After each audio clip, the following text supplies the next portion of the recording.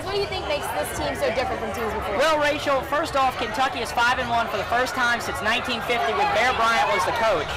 Now, if you look at the SEC East, Georgia really doesn't be, is not going to be able to get it done without Todd Gurley. Missouri's not really going to be able to get it done. And South Carolina, to quote their head coach, Uh-oh. we just overrated. cannot get it done, cannot pass the ball, cannot get a thing done. I like Kentucky to win the SEC, but hey, they ain't Clemson. Steve Spurrier with the guest appearance here on the Tiger TV Hey, Tailgate Show. it's always to be great by the real Death Valley. nice touch. Now, Morgan, tell us about Kentucky's quarterback, Patrick Towles. When I was in Florida, we called it the fun and gun. And when you spread offenses out in the SEC, you can cause problems. And Kentucky's able to do that. They've got a great team this year. It's going to be a close one. All right, well, it's time for our last break, but please don't go anywhere. Tiger TV, Tail- Tiger TV Tailgate Show will be right back, and we'll talk about predictions.